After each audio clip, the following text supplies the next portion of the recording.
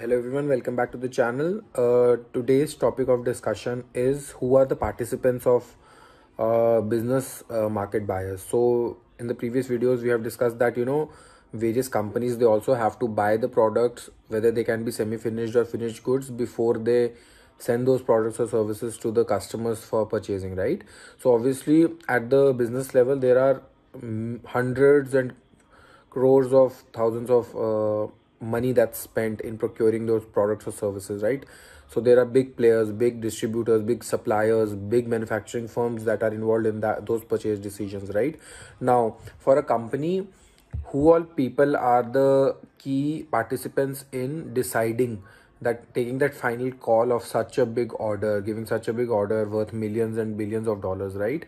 So who are the stakeholders so the first one is the initiators. Initiators are the people who basically uh, bring the problem statement or bring the bring the requirement to the table that hey uh, we need to buy we have this this this requirement and we may need we may need to buy xyz product or service right? So those people are called initiators. They have initiated the buying process right?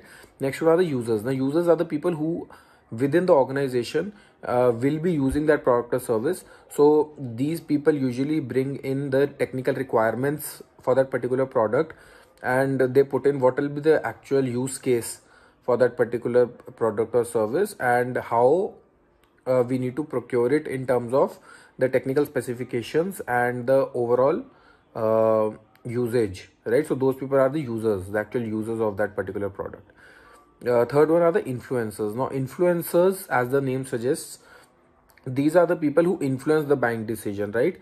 So how do they help uh, influencing the bank decision?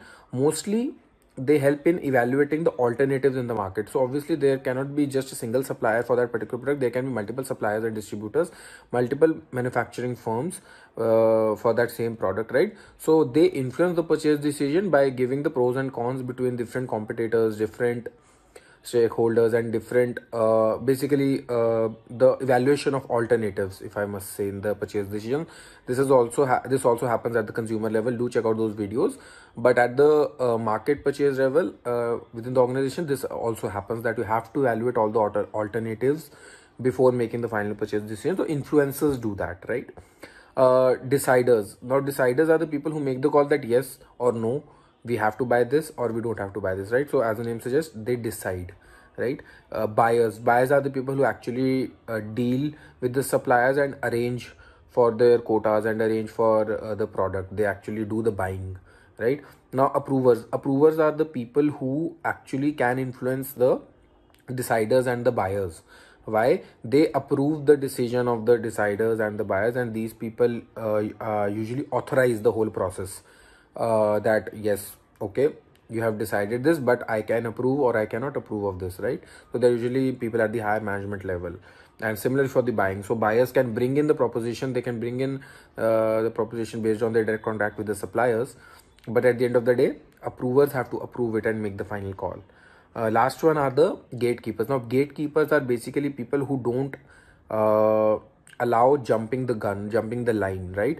So these are basically uh, managers purchase agents receptionists or whoever people are involved in the process but they don't allow you to jump the gun right? So a supplier cannot directly uh, meet the buyer or the decider and influence the purchase decision right? So gatekeepers basically keep them at bay and they are uh, important so that the whole flow of purchase decision is managed properly and there is no breakage of line. You cannot break the step or a particular stage and influence your decision over the others right?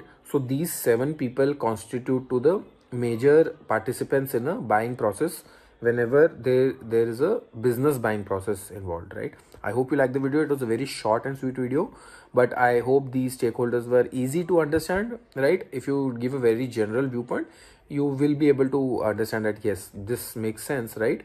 So yeah keep watching like subscribe and share and i'll keep bringing on much more interesting topic to you guys right? Bye